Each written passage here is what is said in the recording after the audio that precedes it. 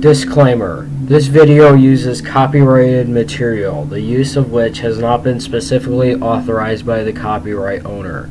The use of such material is protected under fair use, which allows the use of copyrighted material without the owner's consent if the material is offered publicly without profit and is used for commentary, critical, or educational purposes. No copyrights are claimed by me in this video or any others of mine, and I do not claim to own any videos or images used in this program. Jurassic Fight Club and all material associated with it belong to the History Channel, and all images used belong to their respective owners. If you made an image in this video and would like to be properly credited for it, please contact me, prove you created said image, and I shall credit you accordingly. This video is broadcasted for commentary and educational purposes, and I make no profit from anything used in this video, so it falls under fair use. That said, please enjoy the video. Hello everyone, this is Paleo Nerd here with the second part of my Jurassic Fight Club analysis. In this video, I will be covering the second episode of Jurassic Fight Club, T-Rex Hunter going over the designs of the dinosaurs and the fight itself to determine what is accurate and inaccurate about it. Spoilers, this one is pretty inaccurate, so brace yourselves. The second episode, T-Rex Hunter, takes place 65 million years ago in what is now Montana and features the fight between two juvenile Tyrannosaurus rex and an adult Nanotyrannus. Now, this episode has a lot of major inaccuracies, but first we'll go over each dinosaur. From here on forth, I will go over each creature in the order they appear in the fight. So, what is T-Rex? Well, Tyrannosaurus rex, or Tyrant Lizard King in Latin, needs no real introduction, as it's widely known and is one of, if not the, most well recognized dinosaur ever. It was first discovered in 1874 from teeth. However, it wasn't long before more remains were discovered. Surprisingly, Tyrannosaurus wasn't the first name assigned to this animal. As fossils now classified as Tyrannosaurus have been given names like Manospondylus gigas, meaning giant porous vertebrae, and Dynamosaurus imperiosus, meaning imperial dynamic lizard. In fact, the famous name Tyrannosaurus rex wasn't given to the animal until 1905, over 30 years after the first fossils were discovered. Over the years since its discovery, much has been learned about T-Rex, and it's currently the non-avian dinosaur we know the most about. Tyrannosaurus is one of the last of a group of theropods called Tyrannosaurids, a group of Coelurosaurian theropods that ruled the northern hemisphere for much of the late Cretaceous. Now it is widespread throughout western North America. T-Rex is most common in the famous Hell Creek Formation, and the multitude of remains have dated this species within a range of 68 to 66 million years ago during the Maastrichtian age of the late Cretaceous. A surprisingly short reign for such a large predator. Unsurprisingly, T-Rex was the apex predator of its environment, and at a max length of 12 meters or 40 feet, max height of 4 meters or 12 feet, and max weight of over 9 tons, T-Rex is considered to be the largest terrestrial predator to ever exist. Now, how does the Jurassic Fight Club version compare? Well, surprisingly, in terms of appearance, the design is not very inaccurate, with only slight nitpicks like weird looking feet, a head that doesn't match the skull exactly, a slightly shorter neck, and the typical pronated hands common in all theropods in film and TV. However, while the weight is accurate, they make the animal too large, putting its height as 15 to 20 feet and its length as 43 to 50 feet. This is wrong, as the largest dimensions T-Rex reached based on the largest specimen were 12 feet tall and 40 feet long, and again, this is the largest we know they grew. There's one other minor inaccuracy in regards to the skin. Recent skin impressions from T-Rex has indicated that while it was indeed scaly, these scales were pretty small, and the skin would appear smooth at a distance, similar to the scaleless lizard. Also, while this has yet to be proven with physical evidence, it has been proposed that T-Rex may have had small filaments in addition to scales, similar to that of elephant hair. Again, this is pretty minor, and this discovery was after the series aired, so it gets a pass. Overall, not the most accurate design, but okay. There are only two major inaccuracies with this version. First really isn't with the design, but this is really the best place to put it. Throughout the episode, George puts forward speculation that T-Rex had an infectious bite like Komodo dragons, via the use of deadly bacteria. While speculation is necessary when making a documentary about prehistoric creatures, this takes it too far, mainly because it's based on inaccurate information. This is back when Komodo dragons were thought to kill their prey using deadly bacteria living in their mouths, but later studies have found that they actually have venom glands in their lower jaws which inject venom into their prey when they bite down. This toxin prevents blood from clotting and causes the prey to slowly bleed to death. Now, not only is there no evidence that T-Rex had either deadly bacteria or venom glands, but T-Rex and Komodo dragons are not closely related, as T-Rex, like all dinosaurs, are archosaurs, consisting of both avian and non-avian dinosaurs pterosaurs, and crocodilians, while Komodo dragons, as lizards, are squamates, a group of reptiles consisting of lizards and snakes, only distantly related to archosaurs like crocodiles and dinosaurs. So the Komodo dragon really shouldn't be used as a base for speculation for T-Rex. The other major inaccuracies is in the juvenile, and we'll address that along with this guy. Nano Tyrannus. Oh boy, I had a real field day with this one. So, Nanotyrannus lancensis was a species of Albertosaurine tyrannosauroid and was considered closely related to Albertosaurus and Gorgosaurus. In fact, Nanotyrannus was originally classified as a species of Gorgosaurus. The name translates to dwarf tyrant from Lance in reference to its small size at only 5 to 6 meters or 16 to 20 feet long and 2 meters or about 7 feet tall and the Lance formation in which it was first found, another formation with many T-Rex specimens. The most famous specimen from this former genus is Jane, a near complete specimen that ultimately helped pull the lid on the coffin of this genus. The thing is, Nanotyrannus is not a valid genus, and all specimens classified in that genus are now considered to belong to juvenile specimens of Tyrannosaurus. The series actually does address this, but dismisses it, arguing that Nanotyrannus is its own genus because it has more teeth than adult Tyrannosaurus. While this may seem like a compelling argument, it gets rendered completely pointless by a discovery of a subadult T-Rex, which had more teeth than adult T-Rexes but less teeth than Nanotyrannus, thus proving that T-Rex lost teeth as they matured. Now we're back to those juveniles I mentioned earlier. In the show, they are shown to be miniature versions of their parents, which was just wrong.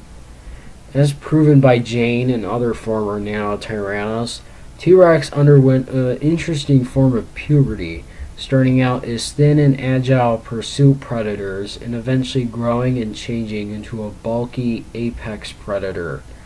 This is partially why T-Rex is so interesting to me personally, and why this particular inaccuracy really gets at me.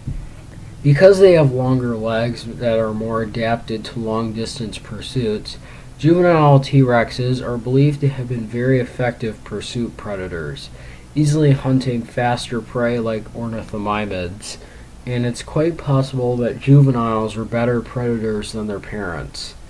That being said, the model itself has few, if any, inaccuracies besides the typical pronated hands. The only real exception I can pick out is that juvenile rexes likely had a somewhat thick coat of filaments, but since there is no real physical evidence for this, it doesn't count. Overall, the most ironic part about Jurassic Fight Club's Nano Tyrannus is that while they messed up big time by making it its own genus, the design is the most accurate in the entire show. And for that, I have to give this show a lot of credit. Not, not, not enough to save it from all the other inaccuracies, but enough to give respect towards a really accurate design. Now, how about the fight? Well, the fight starts off with two adult T-Rexes, a male and a female, leaving their nest to hunt for food. Now, first off, the two adults are the exact same size, when we know that T-Rex was very likely sexually dimorphic. Within the almost 200 years we have been discovering T. rex specimens, paleontologists have determined two different types, or morphs, of Tyrannosaurus with minor differences indicating a difference in gender rather than in species. There's the gracile morph, which is smaller and thinner, and the robust morph, which is larger and thicker. For a long time, the robust morph was considered to be the female, while the gracile was thought to be the male. This inspired the famous Queen Rex paleo meme present in many early 2000s documentaries like Walking with Dinosaurs and When Dinosaurs Roamed America. Nowadays, this is considered to be wrong, and the male has now been proposed as the bigger gender. But the truth is that we'll likely never know for sure, since it's impossible to tell a fossil animal's gender. And since the show never specifies which parent is which, they all they would have to do is make one parent slightly smaller and thinner than the other. Although, although this would require a new model, which may not have been available on a TV show budget. Another thing is it's very likely that only one parent tended for the offspring, likely the female, while the other would simply leave. Even if both parents raised the offspring, they would likely just take turns hunting and guarding the young instead of constantly putting their children in danger when they go to hunt. Next, George helpfully explains to us that the parents have left a scent around their nesting area to ward off predators, which is something more along the lines of mammals than reptiles, since reptiles lack scent glands in their anal region that mammals have. We also see three dromaeosaurs using a recycled model of Deinonychus, which features in the next episode. These are likely Dromaeosaurus, a genus of dromaeosaur from the Campanian era, about 70 million years ago, although there was thought to be a species from Hell Creek based on jaw fragments, but these turned out to belong to a new genus, Acheroraptor. Anyway, the Acheroraptor are repelled by the set, even though it should be like a homing beacon to them, indicating that there are some vulnerable juveniles nearby. Thankfully, an adult male Nanotyrannus gets the right idea and walks right into the nesting area. George once again explains that Nanotyrannus is basically the serial killer of dinosaurs entering T-Rex nests to kill their babies, not for food, but to eliminate competition. This is completely wrong. First, we've already established that Nanotyrannus are juvenile T-Rexes, and second, the whole killing to eliminate competition thing. Only very intelligent animals like humans and dolphins kill for fun, and Nanotyrannus slash T-Rex doesn't really fit the criteria here. T-Rex also wouldn't have served as competition for Nanotyrannus slash juvenile T-Rexes. As stated before, juvenile T-Rexes were excellent pursuit predators, and as such hunted completely different prey from the adults. While adult Rexes ate large herbivores like Edmontosaurus and Triceratops, juveniles hunted smaller and faster prey like Ornithomimus, Pachycephalosaurus, and even the gigantic Anzu. And since juveniles in the episode still rely on their parents for food, they likely would have simply eaten their leftovers, meaning they wouldn't be eating anything the Nanotyrannus would rely on for food. Finally, even if the Nanotyrannus went through all the trouble to kill juvenile T-Rexes, he most definitely would eat them. Otherwise, he would just be wasting a ton of energy killing things he doesn't even want to eat. Anyway, the Nanotyrannus walks right into the nest, confronts the two juveniles head on, keeping his distance at first, wary of their bacteria filled mouths, which I've already explained why that's wrong, so I won't go over it again. George explains that this bacteria is the first biological weapon in nature. These are the first animals to use biological weapons when other animals like arachnids, snakes, lizards, and even proto-mammals called therocephalians used biological weapons like venom and poison long before T-Rex evolved. The Nanotyrannus then uses mock charges to split up the juveniles, causing one of them to lunge forward and lose his footing. The Nano grabs the juvenile and throws it across the ground. It is possible that Nanotyrannus slash juvenile T Rexes were strong to do this, but considering how lightweight they are, I wouldn't bet on it. The Nano then moves towards the other juvenile, which cries for help. Now, normally this would cause any predators to walk away and find different prey, but the Nano, being an idiot, decides to stay and try and kill the juvenile before the parents return. Using its experience to its advantage, the nano shoves around the juvenile as its prey mimics its movements. Now, the nano should and would have just straight up attacked, as it likely would have easily killed the juvenile, but I guess they needed this fight to be longer. Anyway, the nano tyrannus is about to strike when the other juvenile bites him in the leg. This ticks him off, and he kills the juvenile by snapping his neck with a strong bite and then stomping it to death.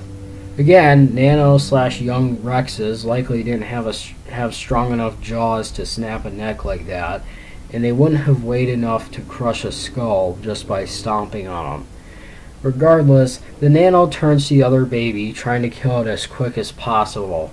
He knocks it over, and as he reaches for the final blow, he feels vibrations through the ground, and the mom returns putting herself between her offspring and their attacker. Now, any sane predator would turn tail and run immediately after this. But this Nanotyrannus is apparently the dumbest animal to ever walk the earth because he tries to get around the mom and kill her baby. Nevertheless, he fails and the mom crushes him in her enormous jaws. She then drops the nano to the ground and tears apart his corpse with her foot claws to use as a warning. Now I have to question the mom's parenting skills here. From leaving her young completely vulnerable while hunting, to only showing up at the last possible moment, to leaving a torn up carcass that will most definitely attract predators, I am 100% convinced this T Rex is actively trying to kill her own children and the male is nowhere to be seen. Sure, the show claims that maternal instincts meant that the female got there first, but we never ever see the male return. Ever. So now I'm convinced that this psychotic T Rex mother murdered her own mate and now she's trying to kill her kids too. Too bad Child Protective Services didn't exist during the Cretaceous period. Overall, this episode completely falls apart with all the inaccuracies, from the designs to the premise itself. There are some other inaccuracies that only serve to further tear this episode apart. For example, the juvenile T Rexes should no longer be under their parents' care in the first place. This show seems to imply that T Rexes raise their young until adulthood, when in reality Rexes likely only cared for their young for two to three years at the most, at which they could take care of themselves. There's also the fact that, like Cannibal Dinosaur, this episode way overestimates how much dinosaurs actually cared for their young. Yes, maternal bonds can be very strong in mammals. Dinosaurs are not mammals. If a baby dies, they just eat it and make some more. Finally, the last nail in the coffin. many of the measurements are way higher than they would actually be, likely to look more impressive. Nanotyrannus is shown to be much stronger than an animal that size and build would be, and way faster too. T-Rex in the show is stated to run 30 to 40 miles per hour, when the max speed it could run at before its bones broke under their own weight would be 12 miles per hour. Nano is said to be even faster at 40 to 50 miles per hour, when the fastest uh, juvenile T-Rex would have run at would have likely been about 20 miles per hour at the most. This may seem slow, but predators only need to be slightly faster than their prey, for which for T-Rex tends to be pretty slow, and juvenile Rex is preying on animals only slightly faster than that. So, in conclusion, if you're looking to learn anything, you might as well skip this episode.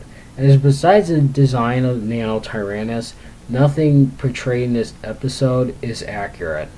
I only covered the major stuff, because if I went on with this, it would be an hour long, and I still have eight more episodes to go over.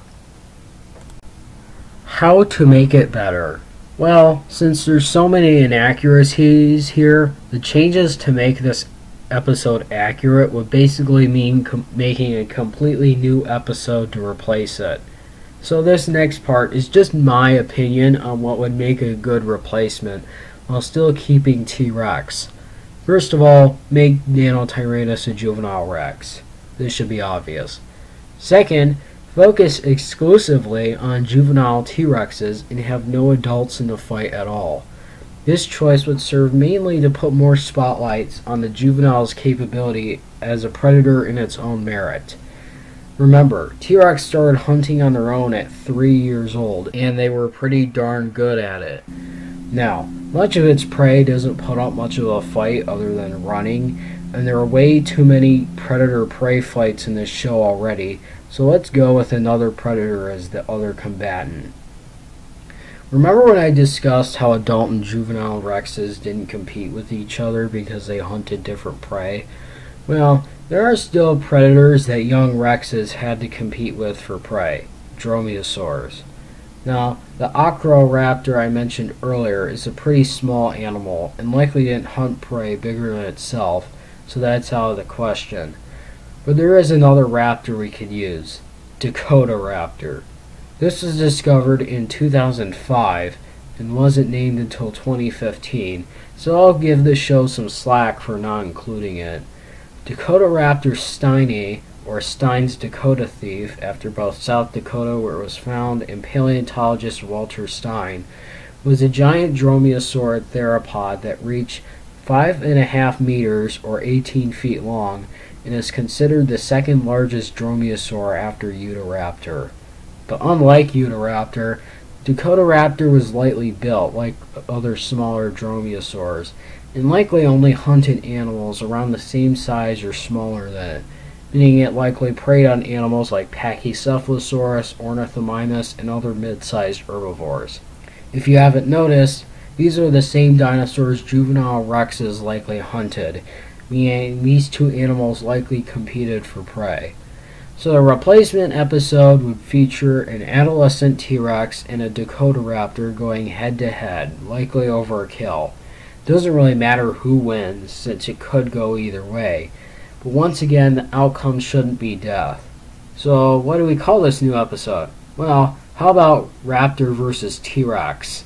Yeah, I know that name is already used for a later episode, but consider this a replacement for that too.